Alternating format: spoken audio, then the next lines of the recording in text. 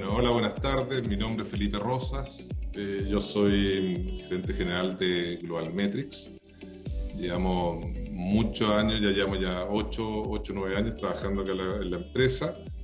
Eh, tenemos partners y oficinas en Perú, Colombia, Ecuador y México, lo que nos permite tener una visibilidad bastante amplia de desde el Customer Value, que es algo que vamos a ver ahora, hasta la experiencia de los clientes en diferentes zonas, de, desde el retail, la minería, a diferentes tipos de industria.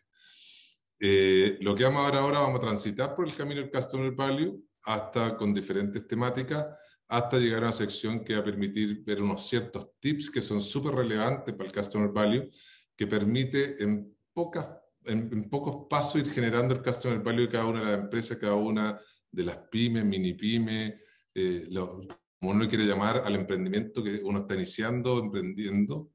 Eh, la gracia es que vamos a ir haciendo eh, ejemplos, ojalá lo más conocidos por todos en cada una de las etapas. Nosotros llevamos ya, independiente de lo que uno haya trabajado, que puede ser el comercial, MBA y todo el tema, como aparece acá, lo importante es que uno ha trabajado en muchas empresas de consumo masivo, conocidas, grandes, eh, de Chile afuera, entonces te permite generar una visión que puede ser un poco distinta al customer value que uno puede ver en los libros, ¿sí? porque está basada en la experiencia y metiendo y aplicando una serie de ejemplos que eh, se van eh, viendo reflejados en la vida cotidiana, en el fondo, que esa es la, la idea. Entonces lo que vamos a ver es qué es la creación de valor como concepto principal, después estrategias para creación de valor, seis consejos para aumentar el valor, cómo calcular el Customer Life Value, que lo, el CLV en el fondo, que es como que calcular eh, el valor en forma simple, cuánto te deja cada cliente, cómo sostener ese valor en el tiempo y después un ejercicio práctico. Ahora, entrando recién a la, única, yo creo, definición que, tenemos acá en la, presentación, ¿qué es la generación de valor? En el fondo, y, básicamente lo que buscamos nosotros es ver qué es la generación de valor en el punto venta, es darle al cliente algo más que el producto que fue a ver. De tal modo que se sienta persuadido al fondo para comprarlo y a la vez agradecido por la experiencia que obtuvo por la compra de vida. Acá el tradicional ejemplo es el de Apple, que uno pudiera comprar, no sé, un computador y, dan ganas de salir con el iPad, dan ganas de salir con el iPad mini, el iPad grande, con todo tipo de conexiones que te den de toda parte. Y aparte después no tienes que pasar por caja, muy simple, el mismo, la misma persona que te atendió, que puede ser en el fondo vendedor y aparte eh, te enseña la aplicación y te, a ocupar ciertos productos, el mismo te genera la venta. Estoy hablando no tanto en la, metodología que tenemos acá en Chile, en Chile igual, en las tiendas que no son Mac directas, eh, acá en Chile no está Mac directamente, estoy hablando de tiendas de fuera de Chile donde está Mac directamente, cada vendedor anda con su especie de ángel que tú le pasas la tarjeta y te genera la venta inmediatamente. Entonces, ¿qué le queda a uno? Uno sale con su computador, uno sale con cualquier cosa de lo que compró en Mac pero la verdad es que sale con una experiencia de vida extraordinaria. Entonces no fuiste solamente a comprar el computador, sino que fuiste a vivir una experiencia. Y eso es lo que hace que muchas veces un teléfono, un Apple, que puede ser un teléfono que, claro, funciona muy bien, tiene una batería más o menos, tiene una cámara más o menos, estoy hablando del, del 11, 12 o 13, lo último todavía, pero tú lo comparas la, la batería o la comparas con una con, una, con la cámara de fotos de, un Samsung o otro teléfono Android y la verdad es que son muy superiores los teléfonos de competencia, pero uno, la verdad, accede a esto por entorno, por lo que genera la marca, por lo que te atrae la marca. Y eso es lo que vamos a ir descifrando a poco durante esta conversación, en el fondo. Eh, un segundo, acá está, ya. En el fondo, ¿cómo generar valor por, valor para el consumidor, básicamente es buscar la diferenciación. Más, gráfico no puede ser esta foto que hay ahí, porque efectivamente uno puede tener un sitio de, no sé, de cualquier tipo de producto, pero si siempre está vendiendo lo mismo, busca los mismos tipos de empaque, no genera una diferenciación en sabor, en producto, ojalá no en precio, que después vamos a ver por qué no en precio después en el futuro, más adelante, eh, uno logra una, que el cliente empieza a fidelizarse. Hay diferentes formas de medir la fidelización, ahí vamos viendo hacia adelante también, obviamente el más como conocido ahora que está de moda, el NPS, lo que hace es que te mide efectivamente la lealtad y la cercanía de marca. Un indicador de preferencia, lealtad de marca, de endorsement, de cercanía, y que te entrega notas del, menos, del menos 100 al más 100 en el fondo, en donde hay diferentes industrias que te van evaluando, pero se mide de igual forma en todos los países donde se ocupa el NPS. Entonces, por ejemplo, la industria financiera, que es una industria de las más castigadas para entrar un poco en el acercamiento, en Chile tiene un, benchmark de alrededor de 32 puntos de NPS. Si uno entra a Mac, uno pensaría que Mac tiene un, un NPS altísimo, de más de, no sé, pues 70 puntos, con un máximo de 100. Pero la verdad que Mac en Estados Unidos solamente tiene un poquito menos 40, tiene 37 o 38 puntos, no me acuerdo bien. Y eso porque la gente ya está acostumbrada a ir a vivir una experiencia, ya va a buscar un determinado producto, va con la idea de comprar un producto, lo que puede comprar es, debido a la experiencia, hacer un, upselling de llegar a un cable especial, a un conector especial, a otro tipo de producto, pero eso gracias al entorno que genera Mac cuando uno va a comprar unas cosas. Pero acá la clave, y volvemos al tema, la diferenciación. Muchos de acá, de ustedes probablemente ocupen Mac. ¿Por qué uno se va de PC a Mac? La verdad es porque no lo tengo yo. Yo personalmente ocupé PC toda mi vida, empecé con Mac hace 5 o 6 años, no me acuerdo bien, y no lo suelto por nada del mundo. Más liviano, fácil de usar, no le entran virus, el diseño es perfecto, la pantalla me imagino que es igual que cualquier PC, pero se me hace todo más fácil después acostumbrarme a las diferencias que tiene, pero la verdad es que te genera una atracción hacia el producto difícil de olvidar. Y después partir con el iPhone para que estén conectados, después antes al Apple TV para poder ver cosas en la casa y te vas metiendo a la familia Mac y eso es lo que genera este, este acercamiento a los productos de la marca. Y eso es lo que deberíamos tratar de generar cada uno de nosotros en cada uno de los productos de ustedes. Ahora, ¿cómo podemos generar valor? Generar valor por medio del producto, claramente, lo que estábamos hablando recién. En el fondo, ¿qué cosas podemos buscar que tengan un valor superior? Generar una marca reputada o un posicionamiento que te permita estar en el, en el, en el top of mind, en el fondo, el tom de cada uno de los clientes.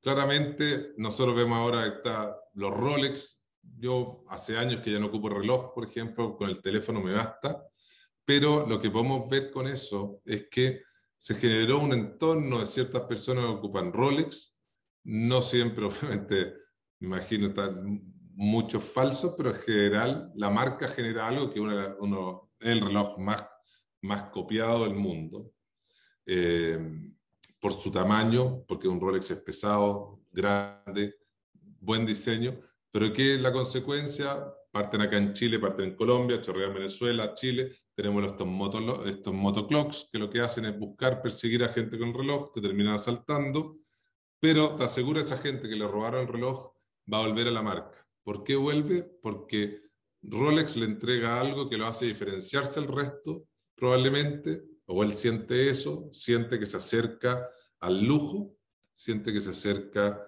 a generar, que el producto le genera un valor distinto a él por medio del producto. Ahora, generar valor basado en la relación con el cliente, esto la verdad es que el mejor ejemplo se me ocurrió a mí, el, eh, aparte que, que, son los hoteles, por ejemplo. Uno busca, o el mismo hotel cuando te fideliza, que uno se meta a los clubes de, a los clubes de fidelización, uno entra en el fondo a obtener unos servicios diferentes al ser socio del club, te pueden hacer un upgrade, te pueden ir a buscar al aeropuerto, te pueden generar una serie de beneficios adicionales. Por ejemplo, el Hotel de Lujo Arts, que es el Barcelona, es un hotel que está al lado de la bahía donde se hicieron los, Juegos Olímpicos, hicieron ahí, no, recuerdo hace muchos años, están todavía llenos de, de recuerdos la bahía de Barcelona. Y lo que uno hace ahí, efectivamente, que te reciben, y va una persona que te acompaña a la pieza para enseñarte a ocupar la pieza. ¿Por qué te tienen que enseñar? Porque la relación, para ellos, la relación con el cliente es lo primordial, que uno esté dispuesto a pagar más para ir a ese hotel, te acompaña una persona que te abre la puerta, está bien, igual que cualquier pieza de hotel, pero hay un control que te dice cómo abrir las cortinas, otro control, o sea, el mismo control para abrir en el fondo las ventanas, se abren automáticamente, otro botón en el fondo para abrir todo lo que es una parte del baño que se abre de forma automática. Eh, el fondo te enseña, te tiene que la persona ir a explicar cómo funciona el hotel automático 100%, es de, de, muy buen nivel el hotel, y lo que hacen ellos es que te entregan, si tú lo pides, porque se puede pedir, es, un, es como una especie de, imagínate un celular que tiene un solo botón, que tú cada vez que lo aprietas puedes hablar con alguien que te puede orientar si no, hay algo que no sabes cómo echarlo a andar o hay algo que no, no según tú no está funcionando bien, tú contestas y hablas inmediatamente con la persona del hotel en forma directa, con esta misma persona que te acompañó a la pieza. Como, casi con Sergio no exclusivo, pero te van dejando este aparatito para conversar con ellos. Y eso es básicamente una relación de valor basado, eh, o sea, una creación de valor, perdón, basado en la relación con el cliente. Siendo que es una industria súper competitiva, obviamente hay desde albergue hoteles de lujo, hay una enorme cantidad de hoteles y la verdad es que ahí es clave poder eh, fidelizar a los clientes y a las empresas, a las, empresas de turismo para que te presenten esa alternativa, etc. Lo otro, la, cómo crear valores pensando en la ubicación. Claramente, hay lugares que ganan por su ubicación y son clave. Eh, efectivamente, puse un ejemplo como el restaurante también, que el, el chiringuito Zapallar, que el chiringuito efectivamente está a la orilla del mar en Zapallar, pero ¿qué pasa? Eso tal, ese hotel, o perdón, ese restaurante no sería lo que actualmente si eres en la mitad del centro, por ejemplo, de Zapallar, o estuviera en, en otro lugar de la quinta región, lejos del mar. El chiringuito se repleta por la gente que va, porque hay gente que le gusta ir, verse rodeado del tipo de gente, y lo otro, la calidad de la comida, una buena calidad de comida, pero no extrema, no es de lujo, está lejos de ser, pero rico. ¿Y qué, qué es lo que ellos basan? Está basado en la ubicación. Su ubicación es el must, es lo que tienen que tener, es lo que, le hace que, lo que hace que el restaurante, la verdad, que esté lleno invierno, verano, prácticamente todos los días, sobre todo en fin de semana.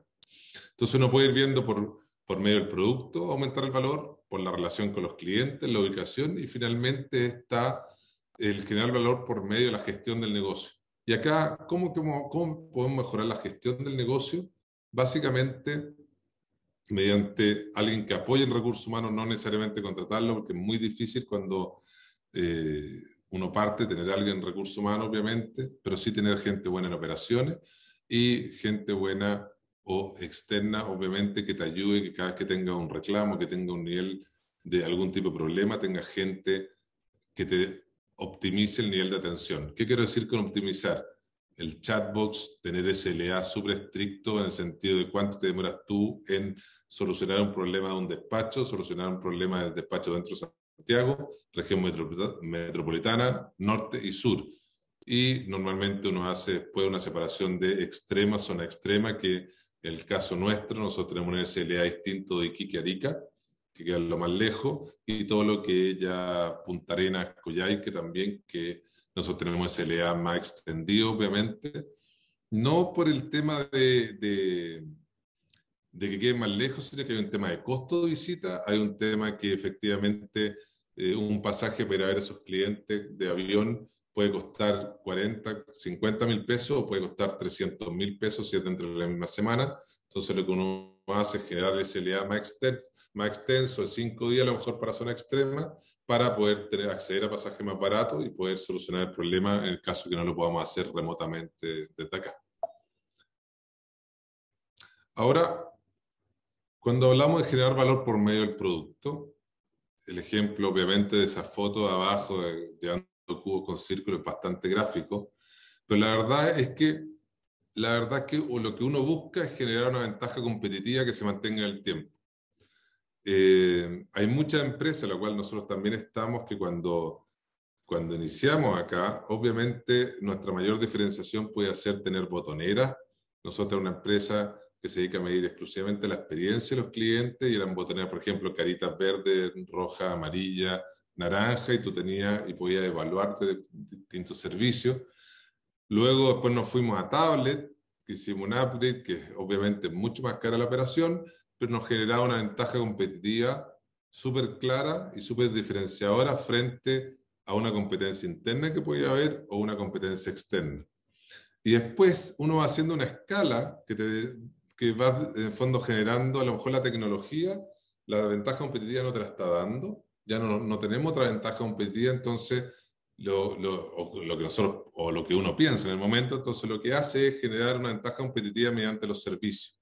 ¿Y qué empezamos a hacer? Un servicio técnico diferenciado, Después un, un, área de Business Intelligence, que lo que hace el área BI es analizar las métricas, datos, presentaciones de clientes. Después dijimos, ¿sabes qué? Business Intelligence está bien para ciertos clientes, pero necesitamos generar un beneficio o una ventaja diferenciadora frente a la competencia. Entonces pusimos CAM, estos Key Account Manager o jefes de producto que atienden grupos de clientes y eso van creciendo a medida que van entrando los clientes, entonces uno puede tener 3, 4, 5, después la medida que la facturación nos está acompañando, y se van generando estos, estos camps que tienen sus grupos, sus clusters de clientes, y le permiten tener una relación directa y cercana con ellos. La primera relación con el cliente, que ahora es una ventaja competitiva diferenciadora en el servicio, es que ellos llaman a su CAM ante cualquier problema que puedan tener, desde presentaciones, desde datos, NPS que no entienden bien la fórmula o el cálculo por qué tienen ese NPS, o de ISN, que es el índice de satisfacción neto, que también es otro, otro indicador que nosotros ocupamos de, de experiencia en el punto, eh, o de servicio técnico, etcétera. La primera cara visible es, de la, eh, es el servicio para ello. Entonces uno empieza a generar botonera, tablet, business intelligence, servicio con CAM. Y después uno empieza a decir, bueno, empieza a generarse una...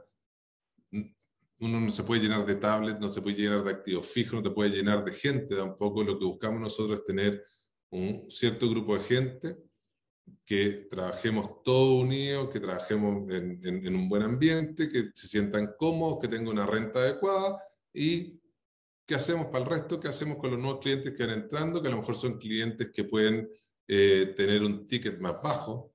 Entonces, a lo mejor no es tan eh, rentable tener una CAM o un CAM que lo atienda. Entonces empezamos a entrar con todo lo que es ya inteligencia artificial, y con encuestas vía mail, vía SMS, obviamente vía el tema de WhatsApp, eh, vía las páginas web, vía empezamos en el fondo, empezamos a cubrir todos los stakeholders en cada punto de contacto con los clientes.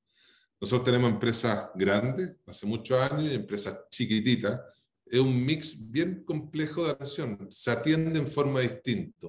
Y lo que uno empieza a hacer es formar, como les decía, estos clusters que nos generan eh, una ventaja frente al resto de tener una atención diferenciada a cada tipo de cliente por la necesidad de esos clientes. Son gente distinta porque el negocio donde trabajan ellos es distinto. Entonces permite generar algo, una relación distinta, tanto así que nosotros acabamos de contratar a, a, tres personas nuevas, que son dos CAM y otra persona para Business Intelligence, y lo que hace es, buscamos perfiles de acuerdo a los clientes o a los clusters de clientes que queremos que atiendan.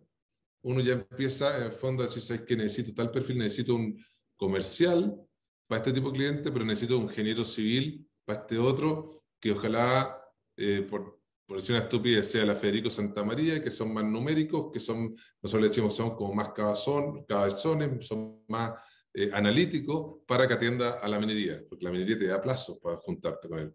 Pero la verdad es que las preguntas y la profundidad de conversación con ellos es mucho más grande.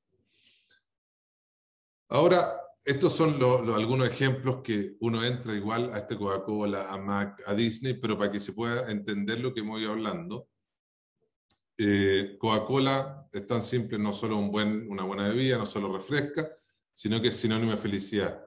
¿Por qué una bebida es felicidad? Claramente porque el posicionamiento que empezaron a generar desde un comienzo fue asociado a la felicidad, fue asociado en fondo a momentos que la gente la está pasando bien, momentos que está celebrando, muy asociado a la celebración, y claramente eh, antes 1910, perdón, 1920 generan el tema del concepto viejito pascuero. El viejo pascuero, ustedes lo pueden buscar en la web, eh, fue generado, inventado por la gente, por eso es rojo y todo el tema es Coca-Cola, y lo divertido cuando empieza a buscar, uno dice, ¿cómo Coca-Cola ha inventado el viejo pascuero? Bueno, y uno lo busca, y así genera búsqueda en, en, en Internet, y toda la gráfica Coca-Cola de la Navidad de ese año saca a este señor con barba, vestido Coca-Cola, rodeado de niños celebrando, y se empieza a generar eh, cada día más esta asociación de Coca-Cola a la felicidad. Luego Apple, que ya lo hablamos antes, un servicio exclusivo, ha conseguido que sus usuarios sean los mejores embajadores de marca. Eh, está mal escrito influencers. Eh, pero lo que les quiero decir es que Mac no necesita contratar influencers. Acá en Chile estamos llenos de influencers, en general en Latinoamérica lleno, igual que en Estados Unidos, Estados Unidos hacia abajo, la verdad, México es una cosa, una locura la cantidad de influencers que hay. Y lo que se hace es que gente conocida promueva tu marca, promueva tus productos. Y es tan fuerte la marca Mac que no, no necesita contratar influencers, ya que los propios usuarios somos embajadores de la marca. Y tal como yo le hablaba maravilla, no sé, mi Mac o mi iPhone, la cosa que el producto que uno esté ocupando, uno entra la marca, habla de la marca y genera que el entorno de uno probablemente ocupe esa marca.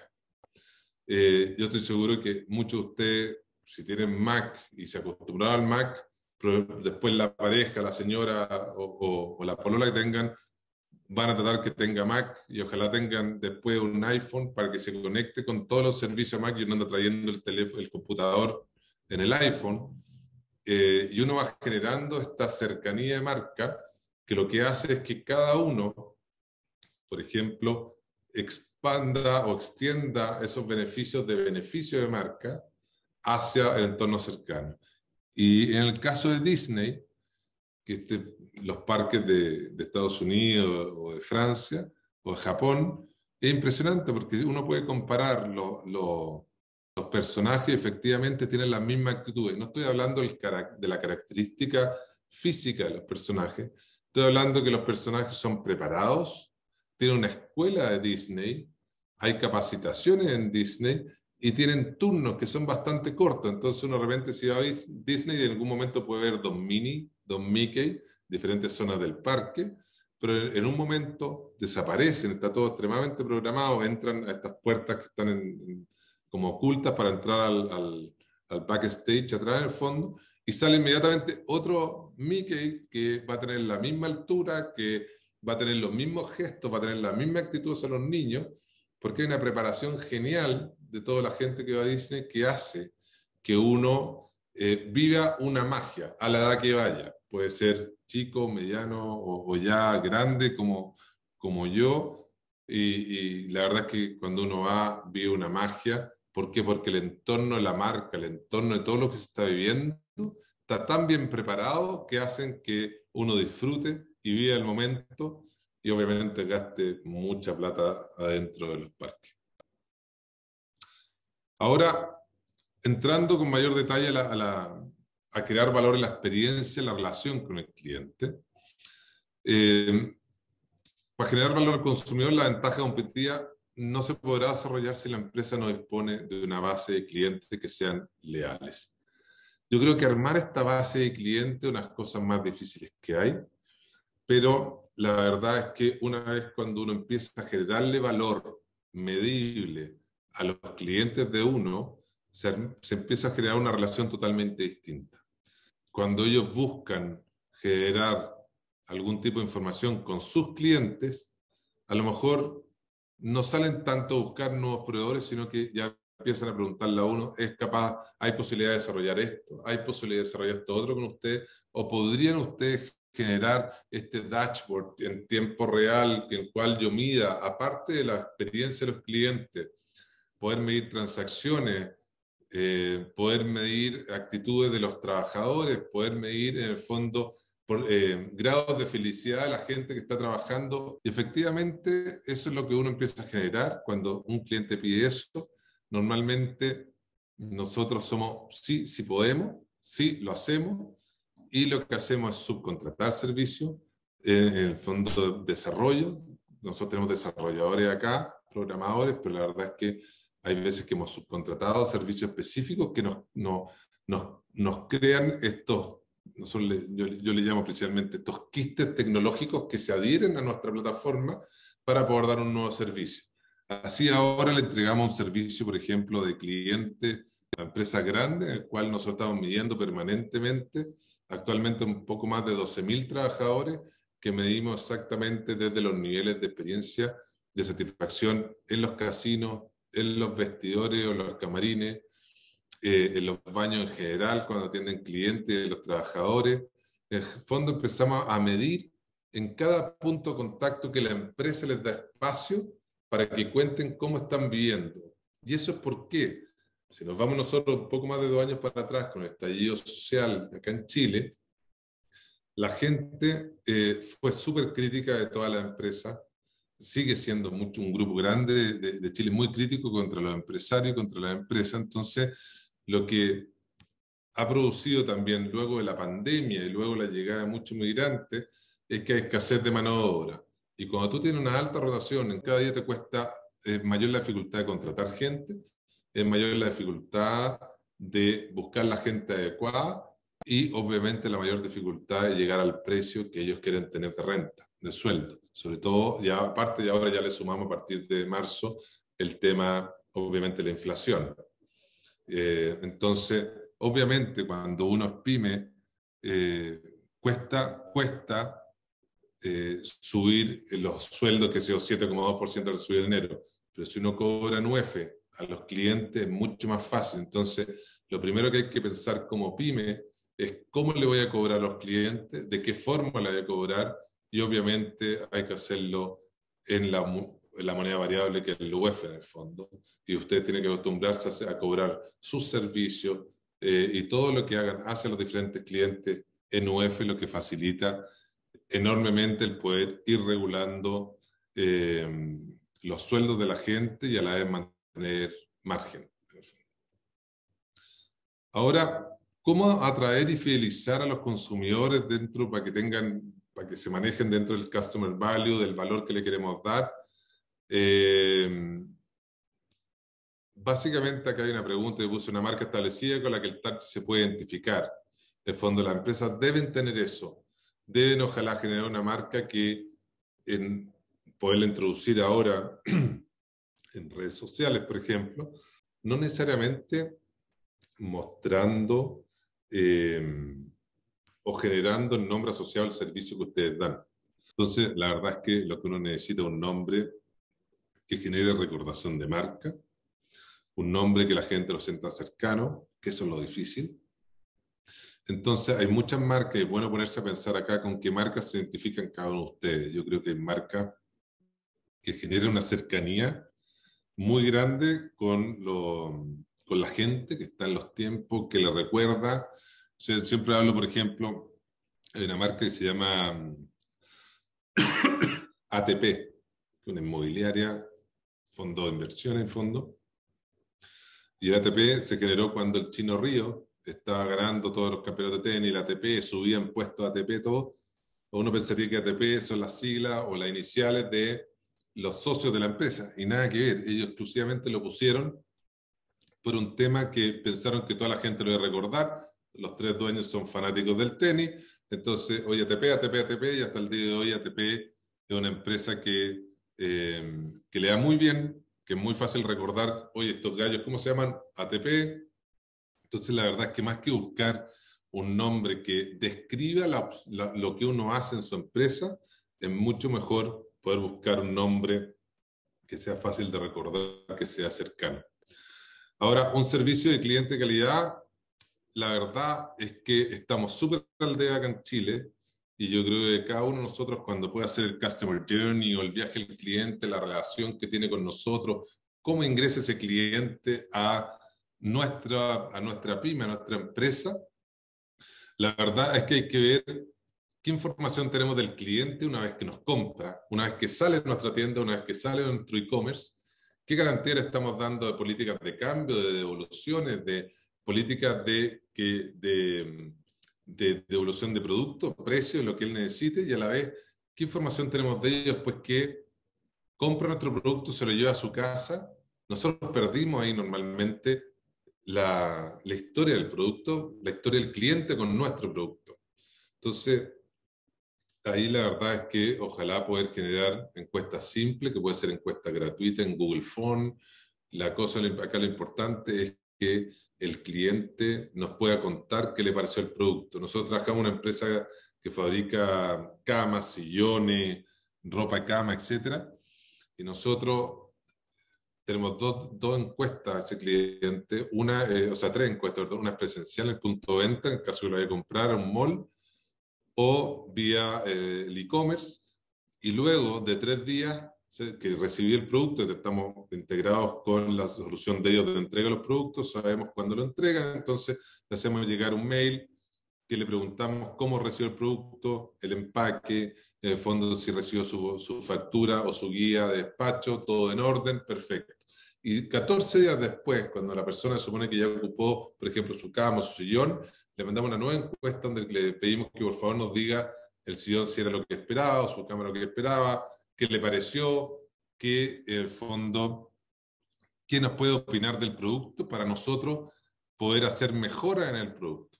El fondo, cada, cada información del cliente, cada eh, comunicación que haga el cliente con nosotros, con el e-commerce, es tremendamente válido para poder entender qué está pasando con el producto, de qué forma podemos mejorar el producto y eh, de repente hay soluciones muy simples, muy simples, como eh, pasó que más de un cliente nos reclamó que estos son unos box springs que venían con unos soportes, unas patitas plásticas, y la verdad es que, por una tontera, la verdad es que al parecer los soportes, las patitas eran de menor calidad, porque se veían preciosas, pero eran de menor calidad, y varios clientes nos reportaron que habían trizadura, las patas una vez que se armó la cama o que se ocupó, se durmió adentro de la cama, las patitas algunas se quebraron y otras perdieron. Lo que hicimos fue algo simple, a, los, a todos los clientes que han comprado cama de ese modelo con ese tipo de patitas se le mandó, obviamente gratis, eh, envío de estos nuevos soportes a sus casas. Pero eso lo supimos no, por, no por las pruebas que se han hecho sino en, la, en la planta, sino que a través de, los clientes. Eh, por eso es importante mantener esta comunicación continua desde el momento que compran en nuestro sitio, en, en nuestra tienda, hasta el momento que están siendo usuarios del producto que les vendimos. Ahora, eh, acá les puse el ejemplo para que uno se vaya, en el fondo, entendiendo más y, y recordando después esto. Amazon y Mercado Libre. Me fascina comprar en Amazon, me fascina comprar en Mercado Libre. Últimamente estoy comprando más en Mercado Libre, ¿por qué? Porque hay productos que están llegando en 24 horas. De verdad, no sé si tengo suerte, pero nunca me ha fallado la entrega, nunca me ha fallado la calidad de los productos. Me han llegado productos de muy buena calidad, me ha llegado lo que he comprado y en los tiempos adecuados. Entonces, ¿qué ha hecho conmigo en Fondo Mercado Libre? Me ha fidelizado. Yo cada cosa, estoy hablando de compré hoy día, hoy día mismo en la mañana, unas pilas recargables con su cargador y todo su tema, van a súper buen precio y compramos las pilas, compramos el cargador, todo, y me llegan mañana. Y las compramos hoy día antes de almuerzo. Y estoy seguro que me van a llegar perfecto. Y me va a llegar en un empaque adecuado que no viene golpeado y me va a llegar a la hora dentro de los lapsos de horas que tienen ellos para entrega. No estoy hablando de los Black Friday y ese tipo de fechas que son fechas que normalmente colapsan, pero deberían tener la capacidad, si están dispuestos a vender, los grandes retail, las otras empresas deberían tener la, la, la dinámica de entrega adecuada para lo que están pensando vender, porque ya tienen una idea de cuánto van a vender y se abastecen para eso. Estoy hablando de empresas como las nuestras, como las pymes, como las mini pymes.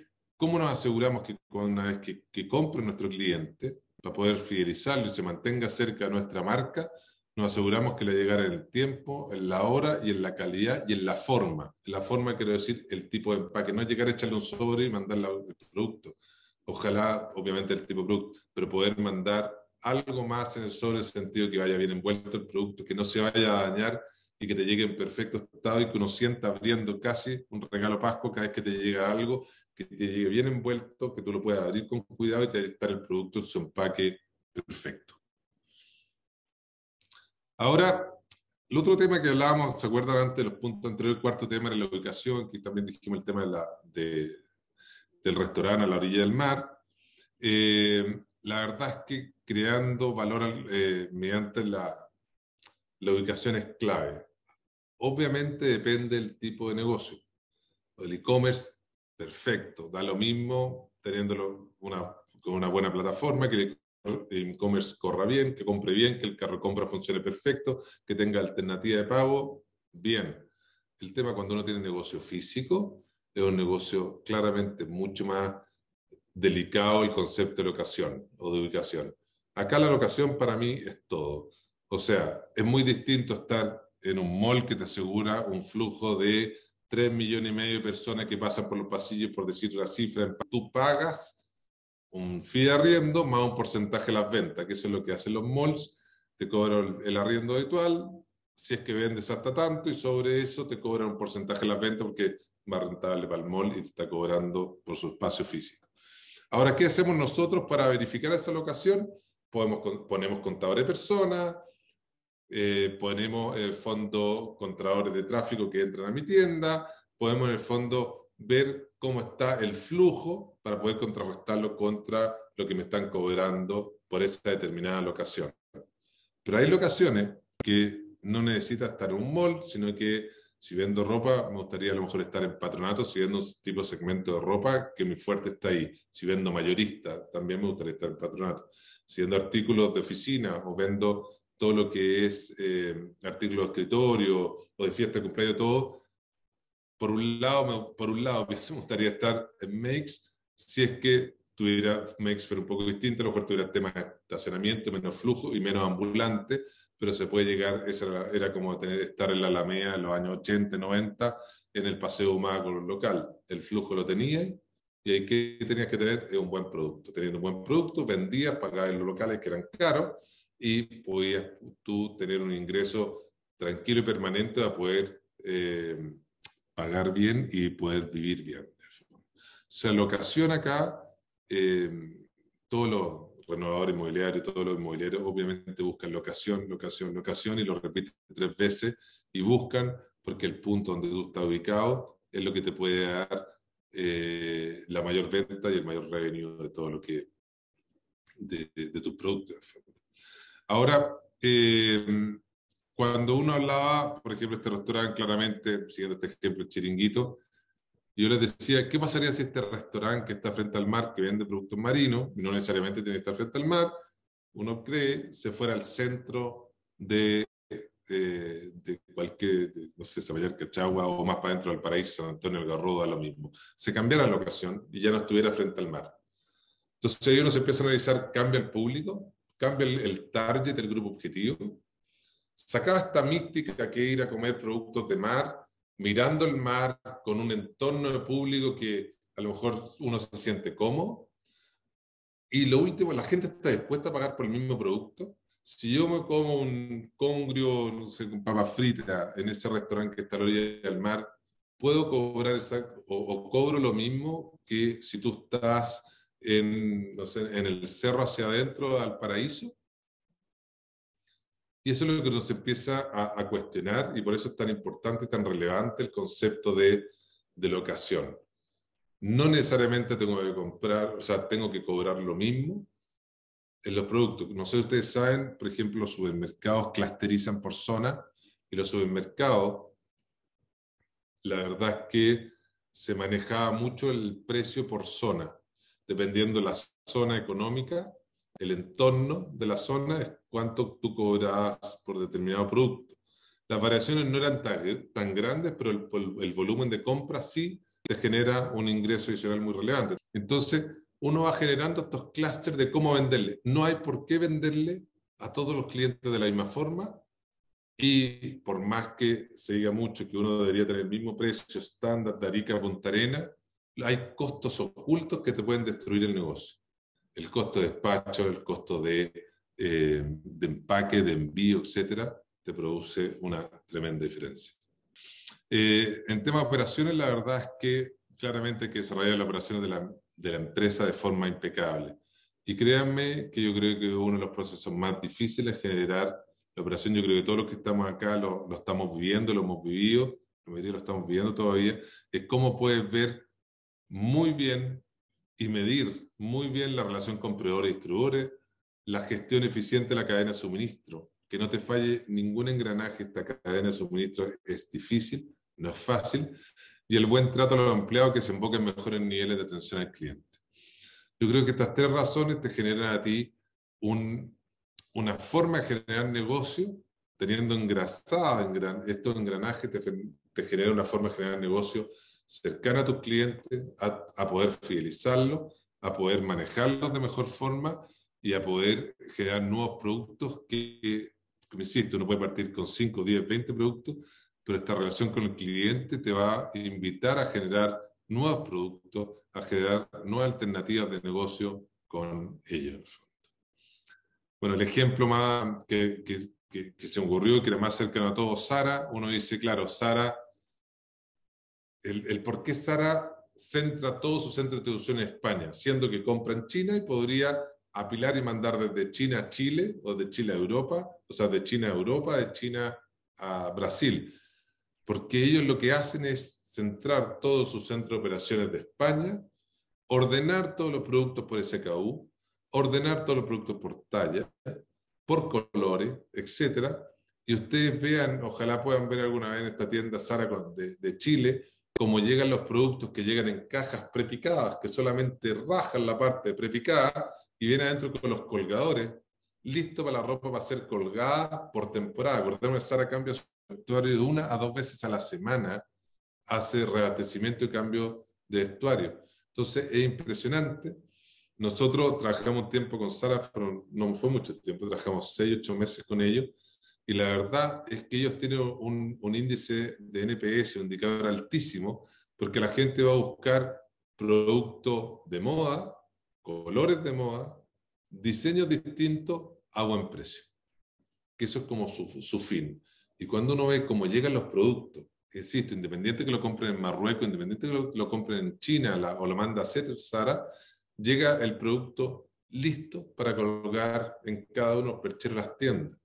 Es impresionante la logística que tienen. Si uno va a la oficina de Sara, está en el mismo edificio para Carauco, uno no puede entender cómo pueden administrar esa cantidad de SKU todo con la poca gente que tienen en Sara Chile. Son muy pocas personas.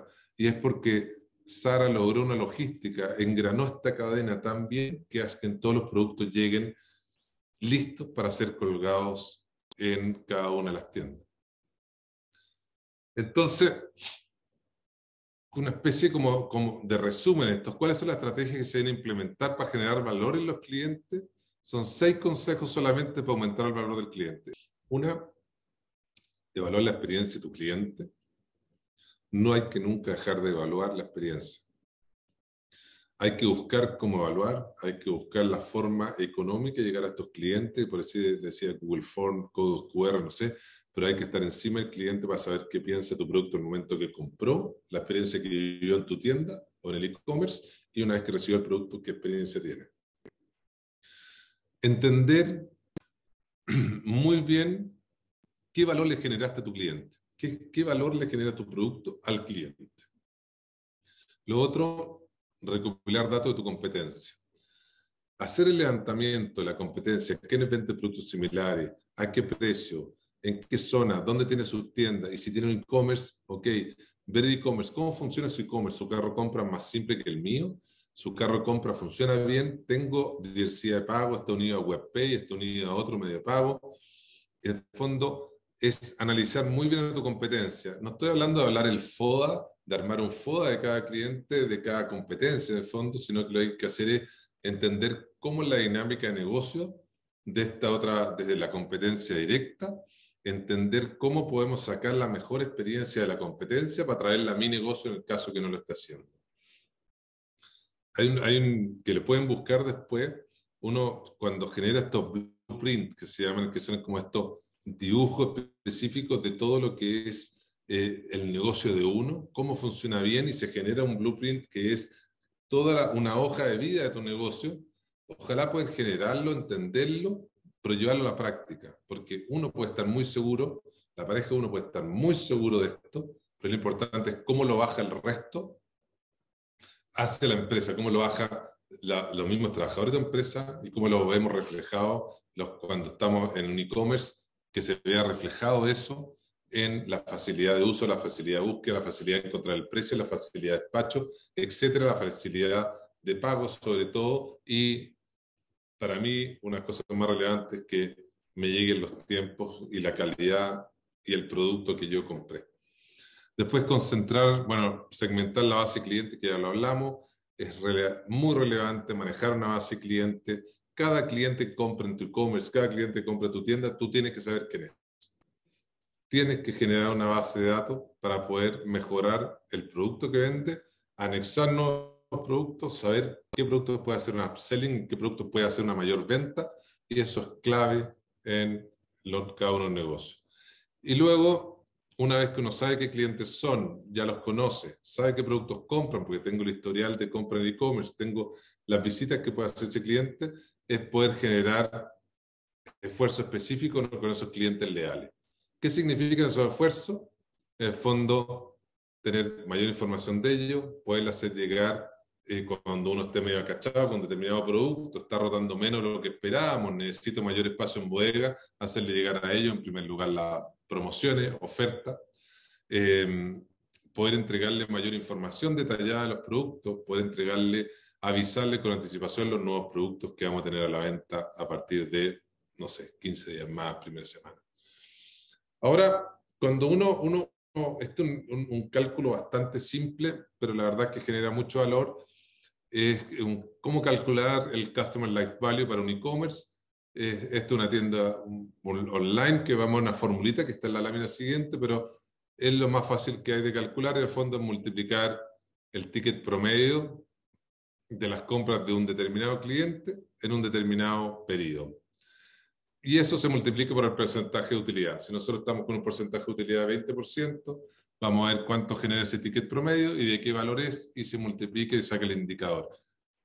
Eh, al leerlo así, claro, eh, un, poco, eh, un poco raro, pero cuando uno lee esta fórmula, la verdad, uno dice el, la venta del el valor promedio de la venta en el fondo, por el periodo de vida estimado, pensemos en tres años, por número de transacciones que son dos, y el margen bruto de utilidad un 20%. Es decir, 5 por 3, 150 por 2, 300, por 20% te queda 60. En el fondo, el Customer Life Value de ese cliente que le calculé por cuántas veces visita me compra en el fondo. Y yo creo que me va a seguir comprando 2, 3 años este cliente en la medida que tenga determinados productos, vaya generando innovación, vaya generando buenos precios, vaya generando tracking de, de, de productos fondo, son 60 pesos, dólares, rublos, lo que quieran, pero la verdad es que esta forma de calcular es muy simple y cuando uno logra tener traqueados a los clientes, uno logra tener esta base de datos monitoreada, nos permite hacer este cálculo eh, del Customer Life Value del fondo para un e-commerce de forma fácil y simple. Eh, la verdad es que atrás, efectivamente, atrás quedan los tiempos que el objetivo de las marcas es generar solamente era solamente generar vender o generar venta, mayor venta, nos damos cuenta que ahora, y, a mí me encanta decir este ejemplo, en qué momento se nos fue el café de 700, 900 pesos que comprábamos, no sé, lo que trabajábamos en el centro, en cualquier lugar de cafetería del centro, a un café de 2.000, 2.300, 1.600, 1.700 y te echan, leche, eh, no sé, pues leche de almendra a hacer 3 lucas y si te echan, no sé, otra cosa descremada a hacer 3.200. Y eso ¿Por qué se generó este alza de valor? Llegaron las marcas de afuera, llegó un Starbucks, llegó un Juan Valdés de Colombia y nos empezamos a acostumbrar a pagar 2 lucas, 2.500 por cada café, pero uno va a un café porque sabe que el café va a ser siempre el mismo, la calidad va a ser el mismo, el empaque va a ser el mismo, la atención va a ser amable y antes que era muy notorio, uno se podía conectar a Wi-Fi dentro de cada uno de los Starbucks y la verdad es que uno tenía una mini oficina, entre comillas, que te permitía trabajar en forma cómoda tomando un rico café y estáis dispuesto a pagar las 2, 3 lucas por un café. ¿Y eso qué es? Experiencia de marca, no solamente el, café en sí, porque el café en sí no tiene ninguna diferenciación notoria contra un café americano, un café que puede ser que uno lo puede tener en la casa, pero lo que te genera esto es una diferenciación de marca debido al entorno que uno vive cuando va a un Starbucks. Ahora, cuando hay, hay ahí les pongo un link, un estudio, de fondo lo que hace es que entre el 30 y el 50% del precio que se puede llegar a pagar por una empresa reside claramente en, en activo intangible. Y los tres mejores ejemplos, que yo sé que ya pueden haber visto antes, claramente Airbnb, que el 2008 cuando se creó, es la empresa más grande del mundo en hotelería y no tiene ni un solo hotel. Uber, cuando se creó el 2009, es la empresa más grande de taxis del mundo, pero no tiene ni un taxi propio y Despegar, que se creó 10 años antes con una empresa argentina y la crearon cinco argentinos, vendedores de pasaje aéreo que no son dueños ni un solo avión. O sea, venden pasaje aéreo y nunca han tenido un solo avión. Ahora, cuando uno lo aterriza un poco más a, todo lo, a, a la realidad que está pasando ahora, uno se da cuenta que los dueños de hoteles no son dueños de la infraestructura del hotel. ¿Qué quiero decir esto? Por ejemplo, el Hyatt, el Hyatt Santiago, que está en Kennedy con Vespucio, era la cadena Hyatt, que ahora cambió a Mandarín, pero era la cadena Hyatt, pero el edificio del grupo Sayé. Pero para todo el mundo era Hotel Hyatt. Entonces, ¿qué es lo que se busca? Yo como Hyatt soy experto en la operación, experto en la operación hotelera en el mundo. Da lo mismo en qué país, yo teniendo un hotel o una infraestructura bien ubicada, que tenga una buena cantidad de gente, una cantidad de flujo, busco infraestructura donde ponerme hotel y a la vez desarrolladores inmobiliarios lo que hacen es buscar nuevas esquinas, por eso hablamos antes de locación, locación, locación, de fondo, buscan buenas esquinas, desarrollan un hotel y buscan gente que lo opere el hotel. Y ahí se separa esta torta entre desarrolladores inmobiliarios y operadores. Yo, y ahí uno puede ver ejemplo mucho más claro con el tema del Airbnb. Airbnb uno efectivamente, imagino muchos de ustedes pueden ocuparlo, pueden ir a cualquier parte, parte del mundo, dormir en departamentos o eh, casas extraordinarias, arrendarla por dos, tres, cinco días, y la verdad es que nunca conociste al dueño, sino que probablemente tú conozcas a la persona que te va a abrir, entregar las llaves y punto. Y si conociste al dueño, va a ser el dueño de la casa, es su casa, que probablemente en muchos casos viven ahí, son las casas de vacaciones, y les permite arrendarla para generar ingresos para, en caso de Chile, pagar contribuciones, pagar los gastos de la casa, remodelaciones, etc. Ahora, un punto importante, un punto importante es cómo sostenemos el valor de los productos.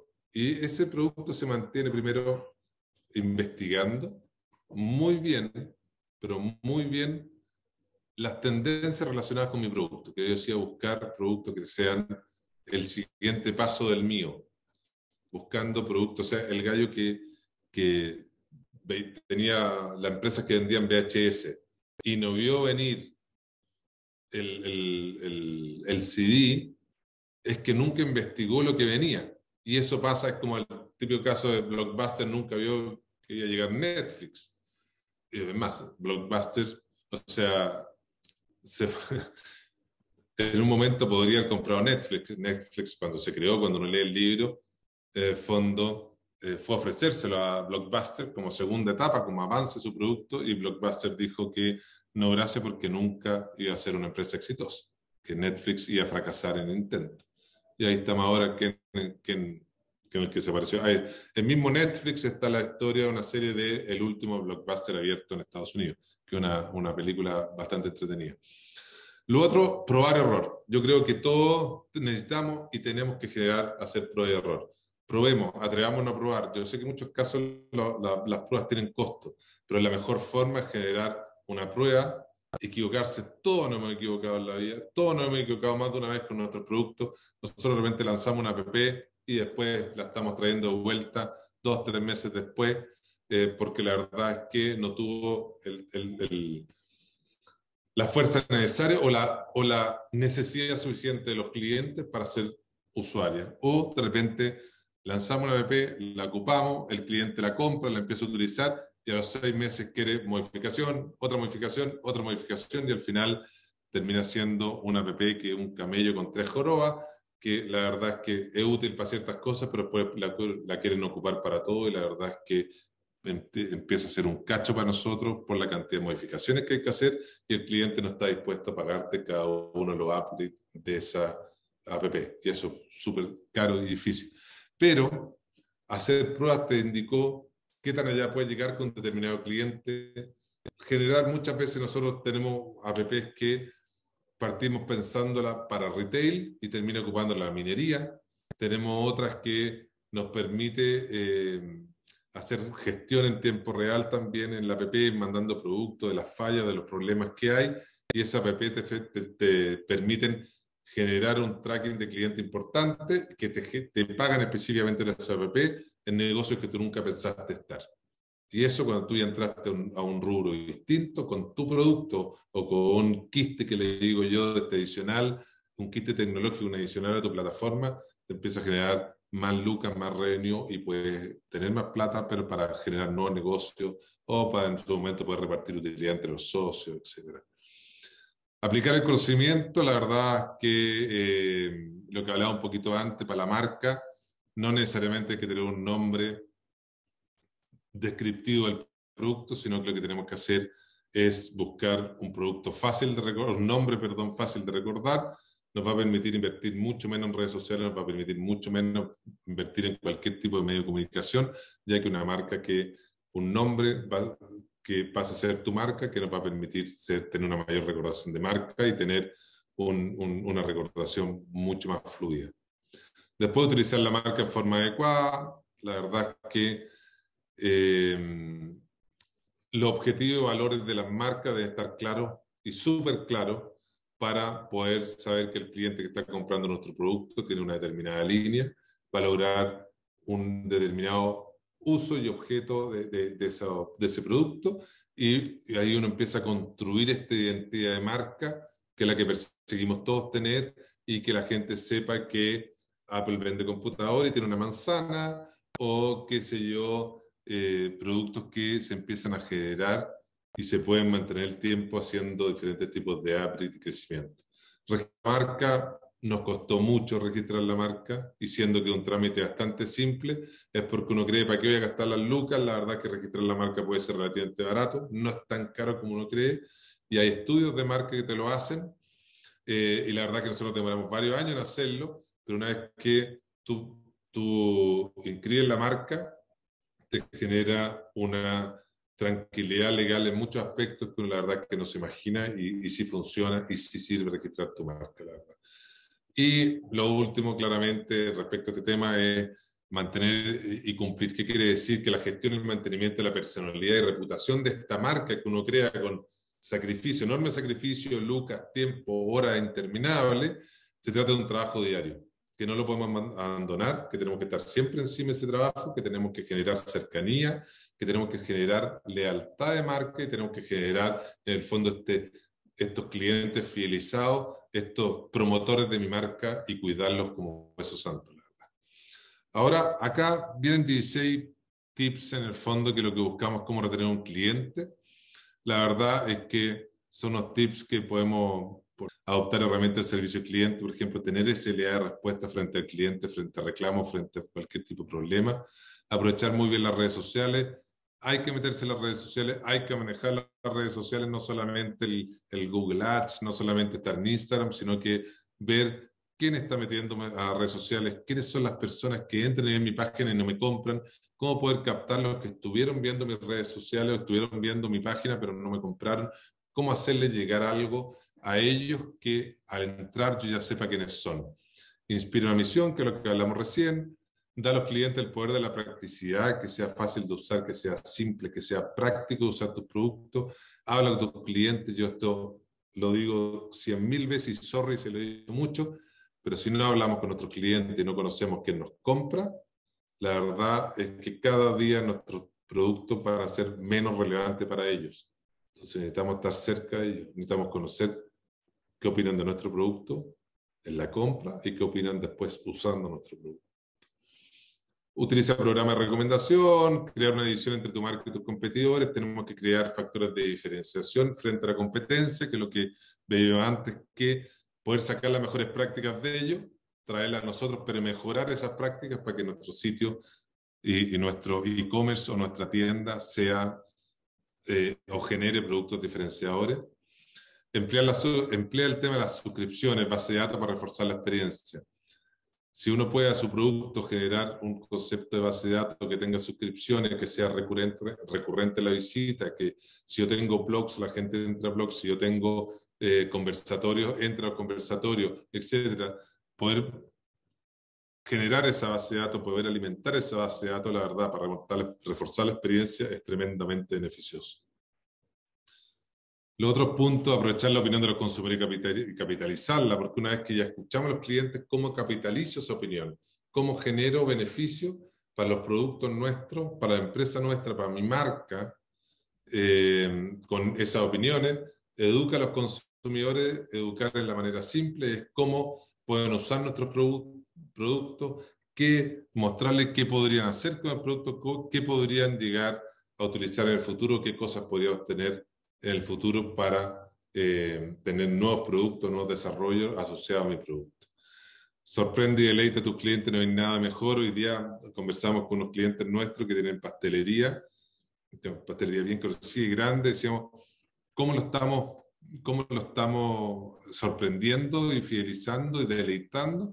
Básicamente generar, les generamos una muy buena, muy buena base de datos los últimos meses y cada día, cada cliente cuando está de cumpleaños, nosotros le hacemos llegar una mini torta. O sea, más que hacerle llegar, va a una tienda de esta pastelería, compra un producto eh, y se le entrega una mini torta regalo por su cumpleaños o le hacemos llegar un cupón de descuento por un porcentaje, que se yo, 10% de descuento por ser el día de su cumpleaños. De aquí durante los próximos siete días lo puede hacer efectivo. Obviamente los descuentos dependen de cada uno, no puede hacer 10 descuentos para el de cumpleaños, 10%, pero puede hacer 50%, 30, 20, eso ya depende de cada estrategia de negocio de cada uno. Eh, ofrecer soporte a las plataformas correctas, agradecer a tus clientes, eso es clave. Diseño modelo de retención desde la primera compra, que un poco lo que hablamos en la base de datos, cómo cuidamos al cliente, cómo lo entendemos, qué busca ese cliente, cómo lo retenemos, clave.